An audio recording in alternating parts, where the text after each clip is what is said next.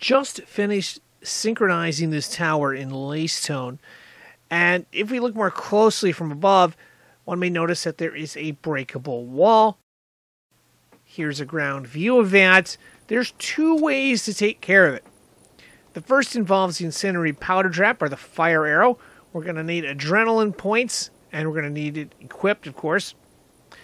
The other method involves simply taking a fire jar, like this one back here.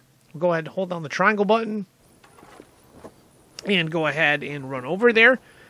L2, uh, you want to hold down L2 and then we're going to set our aim and then push R2 to fire.